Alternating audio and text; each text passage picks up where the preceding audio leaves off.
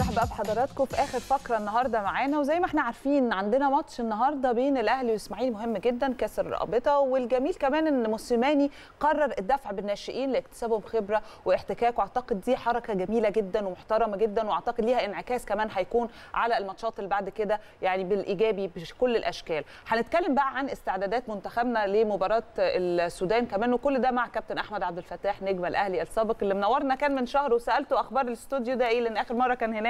بس مش عاجبك ده يعني. صباح الفل. صباح الخير. آه، صباح. طبعا اني موجود معاكم النهارده.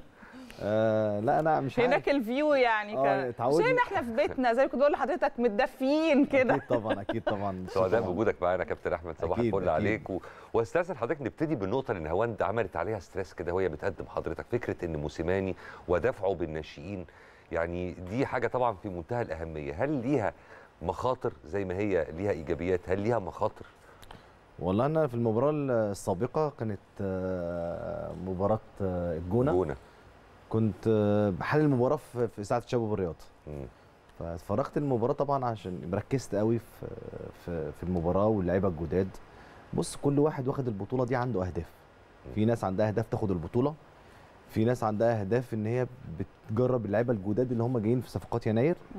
في النادي الأهلي ونادي الزمالك والأندية الكبيره بتفكر في ال- ال- ال- ال- تسلسل الأجيال مين طبعا. اللي جاي الفترة الجاية آه مستر موسيماني عنده مجموعة من الناشئين وطول عمر النادي الأهلي بالشكل ده وإحنا طب وادي أنت لما. تطعم فريق فيه الخبرات وفيه أكيد. ال- أكيد ال أكيد ال الأسماء المعهودة والمعروفة والطعم بناشئين بيبقى لطيف لكن لما تدفع بالفريق كاملا كناشئين دي بقى اللي ممكن تبقى مقلقة قبل البطولة في حصل مشكلة برضو بعض إصابات الكورونا في اللعيبه عطلت برضو اللعيبه شوية بتاخد وقت عقبال ما, ما, ما ترجع. فأول مباراة بدأت كان مستر موسيماني مباراة الجونة فبدأ من المجموعة اللي معاه أكيد كان معاه عدد قليل جدا من اللعيبة لأن اللعيبة اللي بتبقوا واخدين كورونا بيتمرنوش مثلا أربع خمس ست أيام فبياخدوا وقت شوية عقبال ما يخشوا في التدريبات ويخشوا في. الماتشات.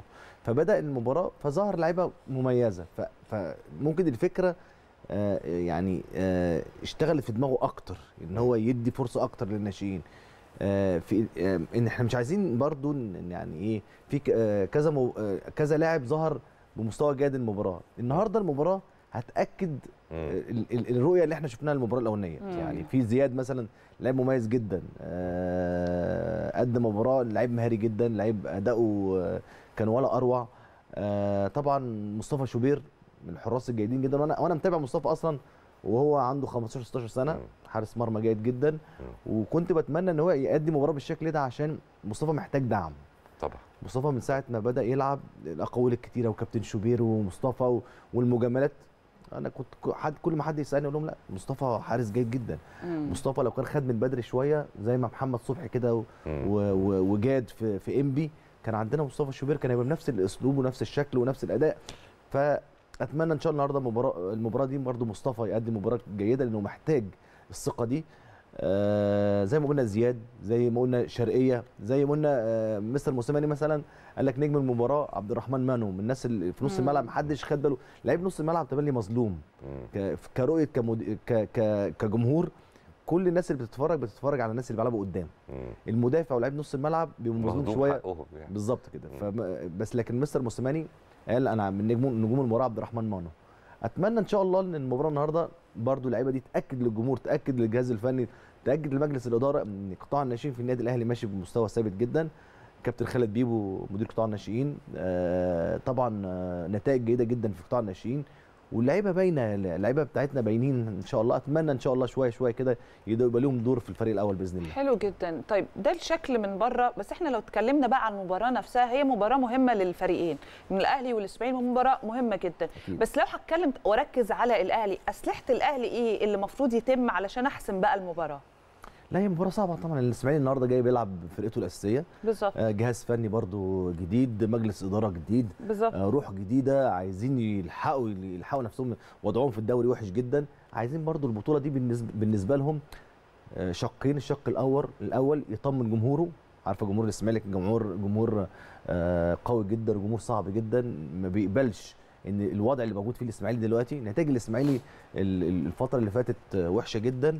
فالإسماعيلي جاي النهارده مع الصفقات الجديدة بتاعت طبعا يناير. صفقات كويسة آه، بصراحة. بيلعب النادي الأهلي. برضو النادي الأهلي مع احترامي طبعا آه، بس مطمع إن من أي فرقة بتلعب قدام النادي الأهلي والناشئين مطمع طبعا يكسب المباراة. أكيد. أيوة. لكن طبعا آه، برضو لما بتلعب آه، لعيبة النادي الإسماعيلي لما بتلعب قدام فرقة يعتبر آه، لعيبة مجهولة مش معروفين بتبقى مشكلة برضو شوية.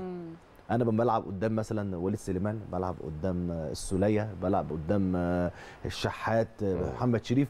فانا كلاعب ببقى عارف اداؤه بيلعب إزاي عارف شكله وبيجري يتحرك إزاي سرعته عاملة إزاي. لكن لما بلعب جنب ولد صغير لسه طالع برده مش عارف هو طريقة لعبه إيه.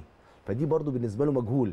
دي بتبقى آه، بتخش على حسب بقى آه، لعيبة النادي الأهلي وروحهم وده اللي موجود في فعلا في- في ناشئين النادي الأهلي وفي المباراة اللي فاتت. مع طبعا آه، دخل المباراة اللي فاتت محمد محمود مثلا ظهر شايف من أول مباراة ليه شايف إن هي بداية جيدة جدا.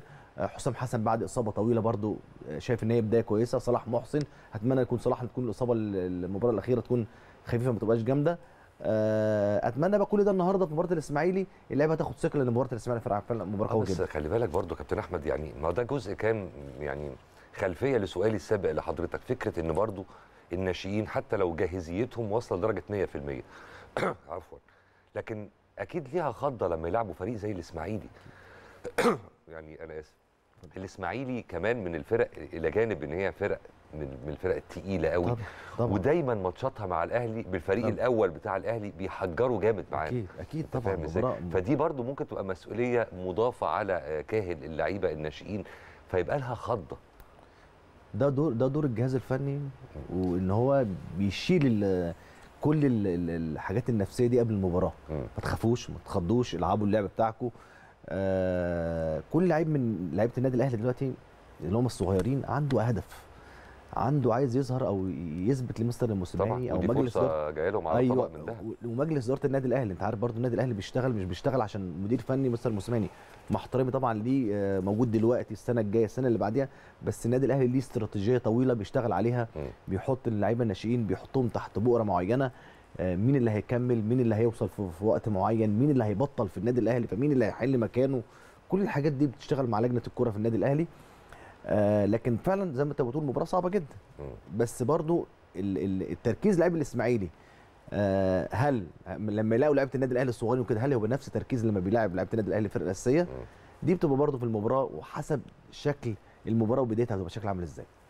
طيب لو اتكلمنا عن القصة هنا في انضمام الناشئين وقصة النجاح واللي ممكن ده بقى ليه تأثير على اللي جاي. بتشوف لو مثلا قلنا إن النهارده أبدع عناصر معينة من الناشئين وممكن مثلا لو شاركوا بعد كده هل ممكن نشوفهم بقى خلاص ضمن القائمة الأساسية مثلا قريبا؟ يعني خليني أعرف منك برضو إزاي ممكن تمشي. والله هي على حسب كل رؤية طبعا الجهاز الفني مستر موسيماني ورؤية آه، آه، إيه إيه إيه- إيه المكان اللي عندي مشكلة في النادي الأهلي. أنا في مشكله إيه عندي مكان إيه فببدا ابص في قطاع الناشئين اللي عندي. اولا ببص عندي في البديل الأول لو لقيت البديل آه، في مشكله برضو فابدا ابص في قطاع الناشئين هبدا ادخلهم في وسط التمرين الأول. الموضوع ما بيخشش كده مره واحدة لا. بيخش التمرين شو- شوية بيخش الماتشات الوديه أو زي بطوله الرابطه دي وابدا اديله الثقه شوية بشويه وهبدا ادخله في المباريات الرسمية برضو شوية شوية ما حدش بيلعب مرة واحدة طبعا خصوصا إن الفترة دي الإصابات فيها يعني أكرم توفيق وبدر بنون لسه. هنعرف عندنا يعني آه، مشاكل ربنا يشفيهم إن شاء الله وتكون رب. حاجة بسيطة بإذن الله بالنسبة ل- لبنون آه، طبعا إصابة طويلة شوية. لأكرم أنا بقول من وجهة نظري أكرم اتحسد الكلام كان عليه كتير الفترة اللي فاتت آه والله والله فعلا- ممكن اللعيبة بتوعنا آه، فعلا الكلام بيتحسدوا كان كتير جدا بس هو الحقيقة. مثار حسد الحاسدين والله أكرم. لعيب جامد جدا فعلا، وقوي وراجل وكل حاجة حلوة صح فعلا حقيقي أتمنى. إن شاء الله تكون إصابة آه هو رباط صليبي بس على حسب بقى أنت وجدعنتك أنت و- ربنا و- وشطارتك إنك. ترجعها بسرعة اتمنى ان شاء الله اكرم من اللعيبه المميزه جدا بس برضو عايز اتكلم نقطه مهمه جدا محمد هاني واداؤه المباراه اللي فاتت. كان على اعلى مستوى طمنا كجمهور النادي الاهلي ان محمد هاني لو لعب في مكانه اللي محمد هاني حاجز المكان ده فترات طويلة جدا. محمد هاني لما يلعب إن شاء الله في بطولة كأس العالم للأندية لا محمد هاني قادر إن هو يلعب في المكان ده وقادر إن هو يؤدي. أداء مميز طبعا طبعا. طبعا طيب عايزين برضو نعرف رأيك في في البطولة نفسها بطولة كأس الرابطة هذه البطولة اللي يعني استجدت في الفترة الأخيرة واللي أضيفت لمنظومة وخريطة البطولات في مصر شايفها إلى أي درجة هتكون مفيدة أنا شايفها إن هي مفيدة لل- للاجهزه الفنية. آه، إن هي بتفضل تشوف آه، اللعيب البديل اللي عنده يفضل يدخله في الماتشات. في لعيبة بتبقى راجعة من الإصابة لعيبة جاية في مثلا في صفقات يناير برضه يدخلها في وسط الفرقة. آه، كل أنا أنا من وجهة نظري كل ما حدش من ال- الأندية كلها عينه إن هو مثلا تركيزه الأول إنه ياخد البطولة. لا لا كل تركيز إن أنا بعمل تيم كويس عشان عندي بطولة الدوري جاية صعبة جدا. فأنا بشتغل مع المجموعة دي اللي هي إذا كانت جاية لي في يناير إذا كان قطاع الناشئين إذا كان آه، اللعيبة اللي راجع- راجعة من الإصابة ببدأ أأهلها لمباراة الدوري إن شاء الله. طيب قبل ما نروح ل يعني ملف المنتخب لأن في كلام بصراحة بقى كتير جدا آه، خليني أروح للصفقات الجديدة في الإسماعيلي. ثلاث صفقات أعتقد برضو مهمة جدا لو اتكلمنا أكتر عشان نبقى عارفين. آه، طبعا أي الإسماعيلي عنده مشكلة كبيرة جدا آه، النتائج اللي ظهرت في أول الموسم. آه، مش ده مش ده نادي الإسماعيلي. نادي. الإسماعيلي على طول لو خلال مثلا العشر سنين اللي فاتت أو اللي قبليها الدوري شكل الدوري الأهلي زمالك إسماعيلي مصر الأندية طبعاً. الجماهيرة طبعا بيبقى لهم آه، جماهيرية. بتبقى ليها شكل طبعا في الدوري الاسماعيلي بقى له موسمين ثلاثة بيصارع والموسم اللي فات كان برده بدايته كانت وحشة جدا لولا بس إن إن كابتن إيهاب جلال تمل- تولى المسؤولية والدنيا اتلحقت شوية دي نفس المشكلة برده بتقابل النادي الإسماعيلي السنة دي. فالخوف من الإسماعيلي برده مش كل سنة بيحصل كده وتلحق تقدر تلحق, تلحق نفسك أتمنى طبعا إحنا ك... كجمهور بنحب ال... ال... ال... الأندية الجماهيرية كانت الاسماعيلي. المحلة المصري وبنحب المنصوره ماتشاتنا كل معاهم بس أكيد أكيد. آه، برغم العصبية في الماتشات ده ده, ده طبيعي جدا وفي كل العالم مش في بس مصر بس على واثق إنك فكره هتتفرج على جيم حلو. آه آه. صحيح. طول المباراة طول عمر مباراه الأهلي والإسماعيلي النادي الإسماعيلي معروف بالمهارة. اللعيبة طبعاً. اللي عندهم مهارة. اللعيبة اللي أدائهم حلو قوي في الملعب طول عمرهم بيتقال عليهم برازيل مصر بالظبط كده فأت- هم فعلا حتى آه. اللي جايبينهم يعني Latins كلهم يعني آه، من بوليفيا وجامايكا و- آه، والايفواري الأخير جان موريل برضه أسماء أكيد هم مش- شافوهم وليهم CV. ودخلوا معاهم في التمرين آه مدير فني أرجنتيني فأكيد بيختار برضه. من نفس ال- القارة آه قريبين برضه فهو آه. جايز هو شاف الدوري هناك أو كان بيمارس شغال في الدوري هناك فمختار لعيبة من الدوري دي من الدوري ده فأتمنى زي ما بقول الاسماعيلي برضه يكون في وضعه الطبيعي كنادي كبير في مصر. آه وأتمنى نشوف مباراه كويسه النهارده إن شاء الله بإذن يا الله. رب يا رب إن شاء الله. نتمنى طيب. أنت كنت بتقولي بقى عايزة تروحي على أنا المنتخب. أنا قبل المنتخب بس آه. عندي نقطة أخيرة لأن أنا عايزة انقل لحضرتك ال- ال- ردود الأفعال الموجودة على ال social media. البعض مش مش ناس كتير بس البعض أنا شفت تعليقات إن أنا البعض منهم. أنا- متخوف. أنا منهم أنا منهم. آه لا البعض متخوف فعلا. إن فكرة هنا ال- الإسماعيلي زي ما حضرتك بتقول في إطار جديد صورة جديدة وإحنا بنلعب ب أو يعني عندنا ثقة طبعا ولكن إحنا معظم دلوقتي الفريق برضو من الناشئين والشباب آه. فالبعض متخوف من ال- الصورة دي. متخوف ليه؟ إن نخسر. آه، آه آه. هنتغلب هن- مش هناخد البطولة. ما أنا بقول لك دي أهداف إحنا أهدافنا مش البطولة. آه مجلس الإدارة ومستر موسيماني في حاطين استراتيجيه ان لا لا مش البطولة مش هو الهدف البطولة لا الهدف إن أنا مرحلة إعداد إحنا في إعداد اولا لقطاع الناشئين ده اللعيبة المميزة دي أطلع بت... لو طلعت بعد البطولة دي لعيب أو اتنين مميز يخشوا في الفريق الأول أحسن من البطولة دي بكتير يعني جدا إحنا واخدينها ك يعني هي بطولة طبعاً. ودية بالظبط يعني خلينا بالظبط نتكلم. بهذا كده. الشكل اكتشاف مواهب بالظبط. تحفيز أكتر زي ما بنتكلم إنه إحنا بنعد اللعيبة بتوعنا لكن مش كده. هدفنا أصلا البطولة لا لا لا زي ما بقول يعني لحضرتك هي. زي بعد بطولة أفريقيا زي مثلا في المواسم السابقة في بطولة أفريقيا آه، في مثلا الفترة دي بيشتغل كله بقى المدربين ماتشات ودية قبل ما المنتخب يرجع تعرف في ناس حتى. الماتشات الودية بتحب تكسبها أنا عشان كده بقول لك أكيد. يعني اللي بتكلم بلسان الجزء ده أكيد طبعا الجمهور أنت عارفه جمهور النادي الأهلي أو إحنا كأهلاوية متعودين. لو بنلعب دورة رمضانية عايزين نكسب فده فده عادي يعني. إحنا هنطلع فاصل سريع كده لالتقاط الأنفاس ونرجع بقى نفتح مع حضرتك ملف المنتخب وممكن جدا كمان تكون البداية مع لعيبة النادي الأهلي اللي في المنتخب. الكلام ده هنتكلم فيه بمجرد العودة من هذا الفاصل اتفضل. يا أهلا بكل حضراتكم. عودة مرة ثانية عشان نكمل كلامنا بقى مع ضيفنا العزيز كابتن أحمد اللي وقفنا معاه في الكلام عند تفصيلة المنتخب. إحنا انتقلنا بقى بالكلام وقلنا نفتح معاك ملف المنتخب وتحديدا رؤيتك لأداء آه، لعيبة النادي الأهلي. تعالى نتكلم في التفصيلة دي في الأول.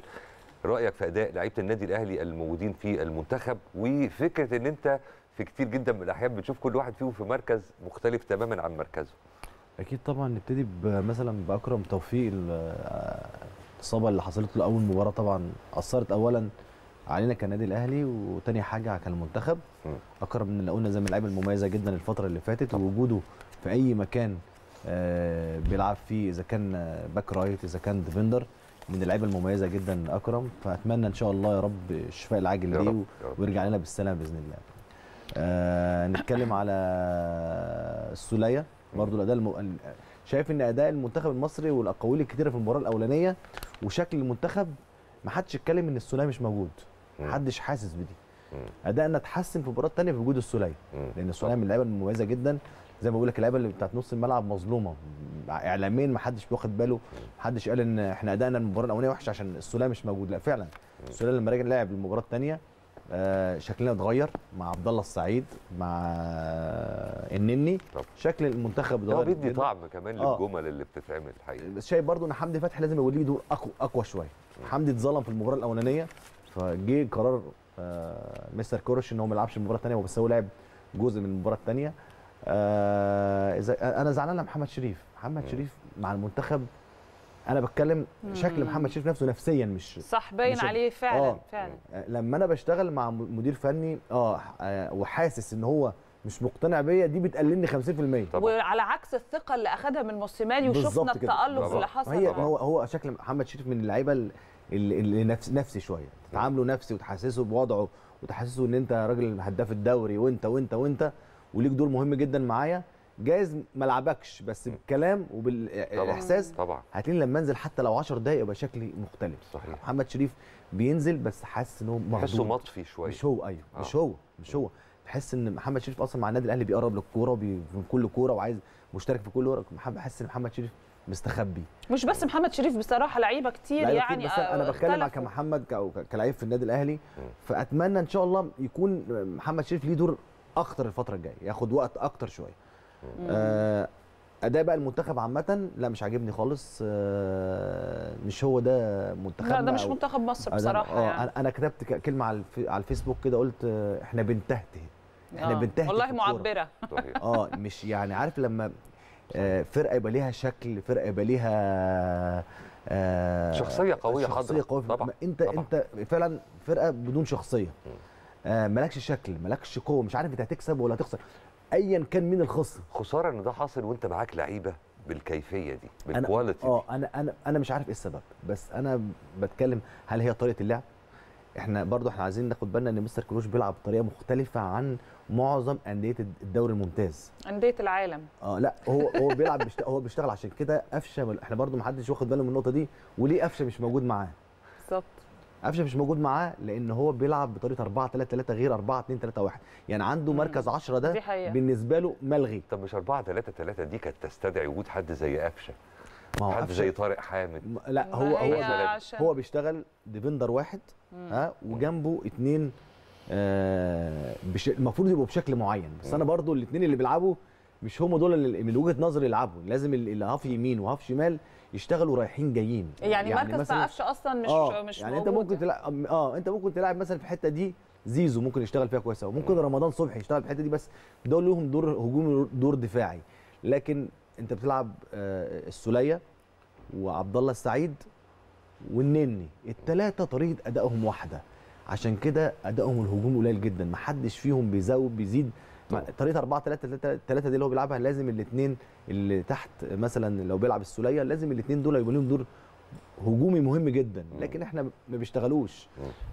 فهو مقتنع بالطريقة دي عشان كده وجود قفشة آه،. ما ياخدش قفشة خالص في المنتخب.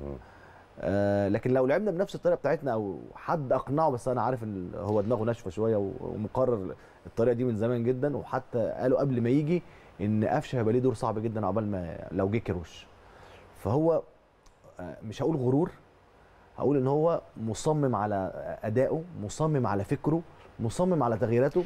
هو لا يعترف بآراء يعني حتى من كلام حضرتك يعني جه في بالي فكرة هنا هل أصلا الجهاز المعاون بتشوف إن المفروض يكون ليه دور أكتر من كده؟ لأن دي ناس كتير علقت عليها يعني. أكيد أكيد ما- دور وبيتكلموا. يعني- ما أنا ما أنا أنا أنا كمساعد واشتغلت مساعد واشتغلت مدرب عام مع المدير الفني أنا آه، آه، رأيي استشاري يعني أنا بروح للمدير الفني بقول له إيه رأيك كذا كذا كذا بس هو المدير الفني اللي بياخد القرار فاللي اللي بيقول كابتن هو في استماع بس بيحصل آه، الاستماع آه، ده أو يعني كابتن ضياء السيد مثلا ما بيعملش حاجة كابتن محمد شوقي لأ ما هم دورهم إن هم بيقولوا بس هم مش هيروحوا مثلا يمسكوا بقول لك إيه أنت لازم تغير لأ مفيش حاجة آه. اسمها كده أيوه بس برضه في المقابل. ما هو لما هم بيقولوا على طول وعلى طول كلامهم لا يعتد به ولا. هو يبقى إيه لازمة الجهاز المعاون بقى ما, ما؟ ما هو هي هي بقى المدير الفني كل مدير فني وشخصيته. في مدير فني بيقتنع بكلام المساعدين؟ أيوه مش الشخصية دي لازم نشوف لها انعكاس إيجابي ما في أرضية الملعب في نتيجة في لا سمح الله أداء.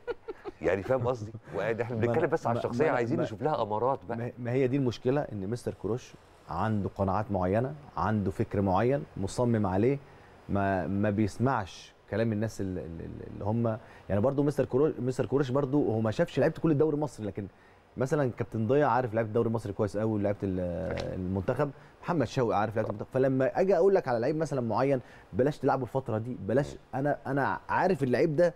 اولا نفسيا وفنيا صحيح. وبدنيا وكل حاجة. لكن مستر كروش عنده قناعة يعني يعني المباراة اللي فاتت آه، مع احترامي طبعا مرموش من مرموش من اللعيبة الجيدة جدا. وكل الناس شايفة مرموش وحش جدا. والناس تقول أول تغيير مرموش. ما غيرش مرموش. هو قناعات. وعنده حاجة برضو كل مدير فني وعنده فكر. أنا وجهة نظري ان هو بيحط التغييرات قبل المباراة. آه. آه في ناس بتعمل تصدق كده. شكله أيوة، كده فعلا. أيوة. والله العظيم يعني. عادي يعني مثلا إيه. مصطفى محمد هيخرج في الدقيقة 60 طب بغض النظر عن آه، المباراة يعني بتقول آه، إيه. المباراة رايحة فين وإحنا محتاجين مثلا أنت بتنزل زيزو عشان يعمل أوفرات مثلا؟ في الدقيقة 60 هيعمل أوفرات زيزو فمصطفى محمد هو اللي بيلعب بدماغه. راح مخرج مخرج مصطفى محمد. طب مين اللي هيلعب بدماغه؟ طب أنت منزل ده عشان يلعب كرة عرضية. ففي حاجات كده بتحصل نقول هو يعني هو أكيد لأن في مدربين كتير جدا بتشتغل بالشكل ده. بس هو فكر. أنا بحضر الت- التغييرات وبحضر ده هيلعب آه، بدنيا فهيشتغل مثلا 60 70 دقيقة ده هينزل يلعب لي 30 دقيقة على حسب العوامل يا كابتن أحمد. الفكر ده مش ناجح. يعني أنا مش عايزة أقارن كيراش بكوبر رغم الفترة اللي فاتت ناس كتير عملت هذه المقارنة. سما يعني آه. ماشي. آه. فلا حتى الروح بتاعت اللعيبة مش شايفينها. يعني ما هو الواحد يحزن كجماهير مصرية آه، وكمان مش شرط مصرية عربية في بيشجعوا أكيد، منتخب مصر. أكيد. فلما تيجي تشوف حتى اللعيبة الروح القتالية مش لا ده روح انهزامية. فأنا أحزن. يعني أنا أحزن على اللعيبة بتوعي على المنتخب بتاعي. فلا في حاجة صعبة في حاجة صعبة بتحصل على الأرض. يعني ما هو يعني كنا بنتكلم آه، لما الجيل المنتخب يلعب البطولة العربية في حاجة شدتنا قوي هي الروح. أيوه الروح كانت في البطوله العربيه كانت حلوة جدا. جدا. وقلنا المنتخب بدأت تروح وترجع وبدأت اللعيبة مظبوط. ع- عندها شكل وعندها روح وع- وأدائنا كان باين جدا في البطوله العربية. جينا في البطولة دي ما أعرفش إيه اللي حصل. أنا مش فاهم إيه شكل ليه ليه شكل المنتخب بالشكل ده. العب اخسر. أنا عندي أنا- أنت عارف الجمهور المصري ممكن يخسر عادي جدا بس لو المنتخب قدم مباراة كويسة صحيح. هيقول لك الناس دي خرجت وعملت مباراة كويسة خلاص عملوا إحنا اللي خسرنا. لكن إحنا كسبانين ها إحنا كسبنا المباراة اللي فاتت والناس زعلانة. آه آه صراحة فعلا. فده ده الجمهور اللي بيتذوق ده الجمهور اللي بيفكر في فرقة آه، كابتن حسن شحاته أيوة. والجهاز الفني وكابتن شوقي وإحنا ما رجعناش بقى. للايام الجميلة دي وكابتن أحمد سليمان والجهاز الفني نملك غير ان إحنا جدا نعمل فلاش باك للأيام الحلوة دي آه. إحنا مش ما هنقدر. قدامناش اختيار تاني وأجبرنا على هذا الأمر لأن أنت فعلا شتان ما بين اللي كنا حاضرينه زمان صحيح وبين اللي إحنا حاضرينه بس دلوقتي هرجع برضو أقول نقطة مهمة جدا القماشة غير القماشة.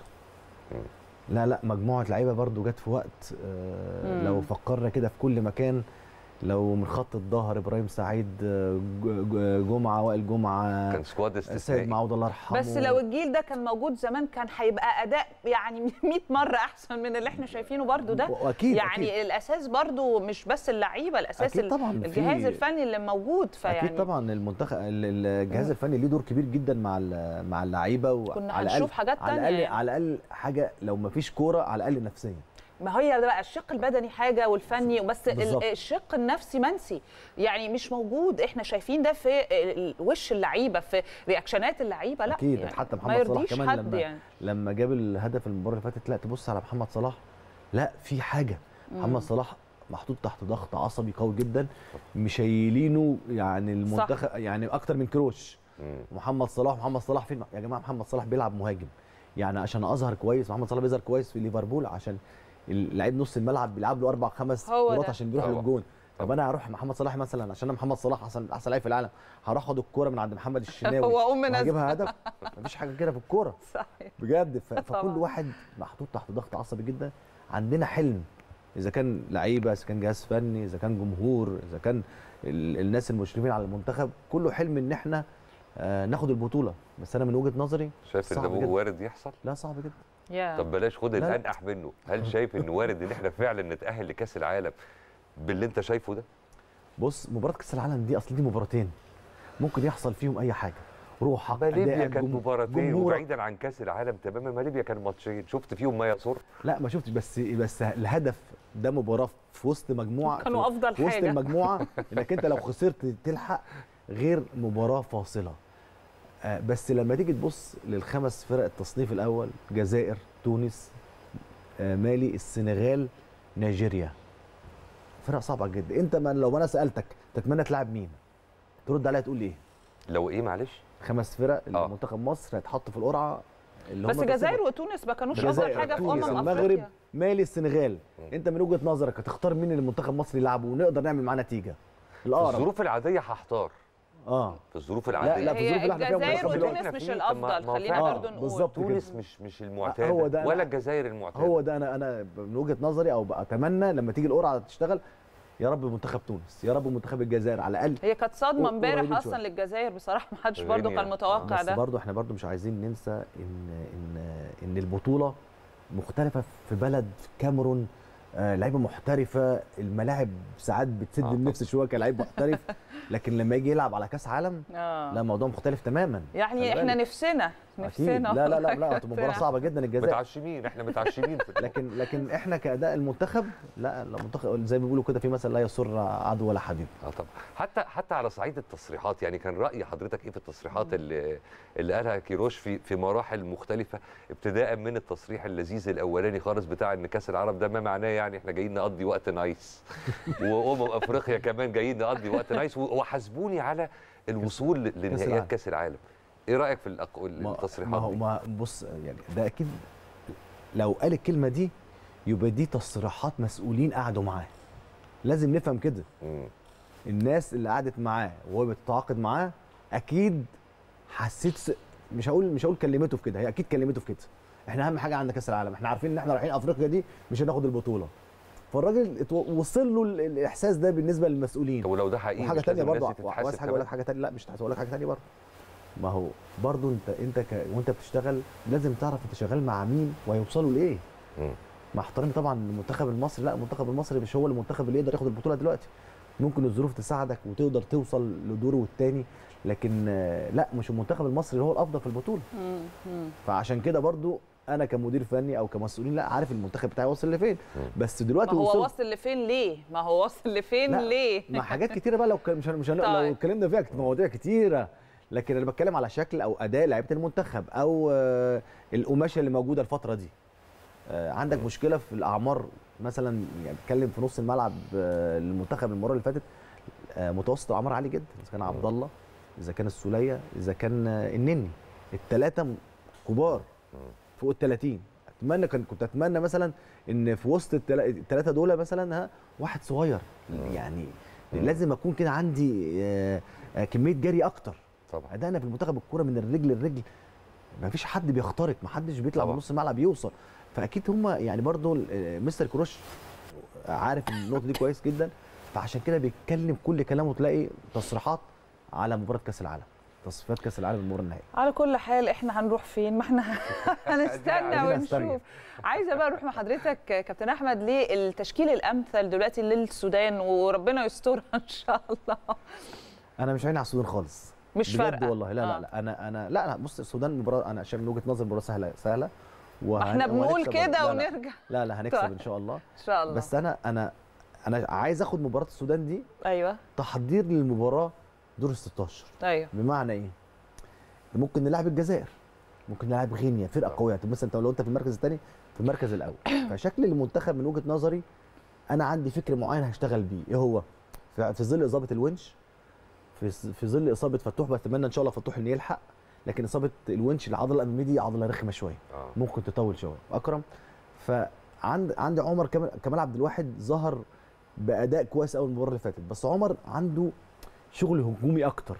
لو لعب عليه جناح قوي هيعمله مشكلة. ف- فالشكل من وجهة نظري أنا اللي أتمنى ان هو يلعب بيه مباراة السودان يلعب ثلاثة زي مستر موسيماني ما بيلعب في مصر أو في بطولات أفريقيا يلعب ثلاثة محمد عبد المنعم الثلاثه محمد عبد المنعم وأحمد حجازي وأيمن أشرف.